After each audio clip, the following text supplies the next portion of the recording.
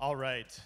So if you're here in this room right now, you're going to make it. Let me tell you why.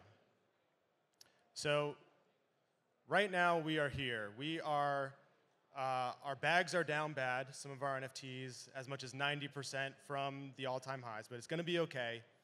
Um, and so this is basically a, uh, a chart called the Hype Cycle. It's created by Gartner, a global research and advisory firm, to explain uh, the maturity, adoption, and life cycle of new disruptive technologies. And I spent my background, my career in Silicon Valley as an entrepreneur and developer, and I can tell you, I've seen this movie a few times. Right? We've seen this happen before. We're in a phase called the trough of disillusionment. So 2023, 2024, uh, we're here because of unmet expectations with the technology. Essentially, people have, many people have lost money, uh, people have left the space, um, and startups have failed or pivoted into other industries as well as a general negative sentiment over the technology and um, in the public perception. But just two years ago, we were at what's called the peak of inflated expectations, okay? The good old days. 2021, 2023, 2022, you remember every NFT you minted went up.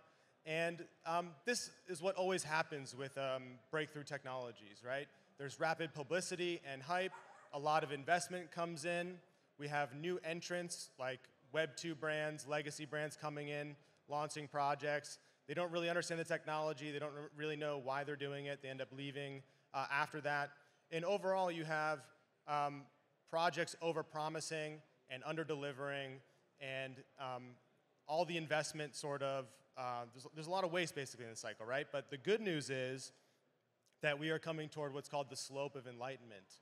And so the slope of enlightenment is a renewed understanding and realism around what this technology is for. Okay, so we learn from the failures of the past, and developers start to use that information to be more productive, to build things that users get real value out of, and that leads to increased investment, and it leads to essentially the beginning of broader uh, adoption, right, and broader acceptance. And so the good days are just around the corner because the slope of enlightenment leads us to the promised land. This is mainstream adoption. This is where the technology is just seamlessly integrated into our lives. It's where um, the, uh, there's widespread training and there's proven value and benefits to it. There's expertise that's widely available. It's lower cost, it's lower risk. And we probably even forget what the word NFT means. We just interact with this technology on a daily basis. And so we don't know what technologies or what products are going to get us to this promised land and lead to mainstream adoption. However, we can find clues by working backwards based on first principles to understand what actually inspired us to begin with from this technology. And so, from my perspective, what gets me really excited about NFTs and ordinals and this technology that we're working with is community ownership. And so, we know that community ownership beats centralized control. This is a core belief that we have in Web3. And so, when it comes to uh, this um, it not only it means that NFTs are the most powerful community technology ever invented, but it also means that it changes fundamentally how businesses and projects are created. And so what do I mean by that? So this is, um, this is the traditional Web 2 model, right? This is what it looks like for a project to be successful over time. It starts out in the R&D uh, phase, like heavy costs are invested in building a product. And if you're successful, you essentially launch you know, a hit product and you climb the slope uh, to become successful.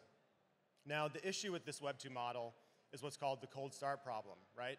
95% of new projects fail, and they, um, there's a lot of risk in this phase because you're reliant on really finding that product market fit and having a hit product. But the Web3 model changes this. The Web3 model, in fact, flips this and adds the ownership value to the equation. And so by involving your community in becoming owners, and you know, essentially they're also taking a risk with you, joining your vision to um, create your project, you are making a new value equation. And so this makes things much lower risk. It also um, has your community members sort of sharing the risk with you. But in exchange, they need to get share in the upside. Okay?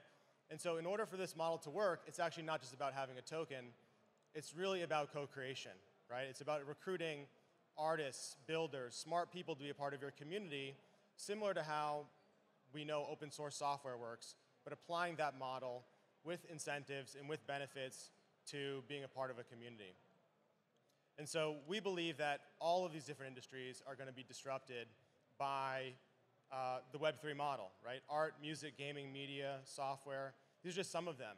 And the opportunity for you in this room is to be a part of these communities, to start your own communities, because ultimately, if you're in this room right now, you are the movement, right? You guys are going to make it because we have to do this together.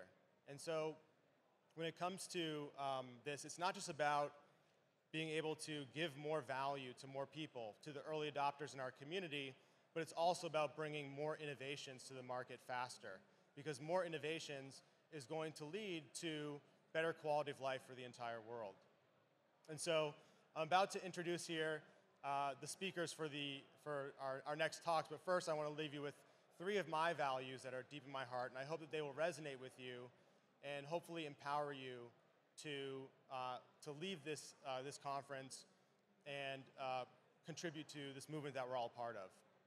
And so the first value is that art and code is the alpha. So you have to work hard to uh, make this a reality, right? You have to hone your skills.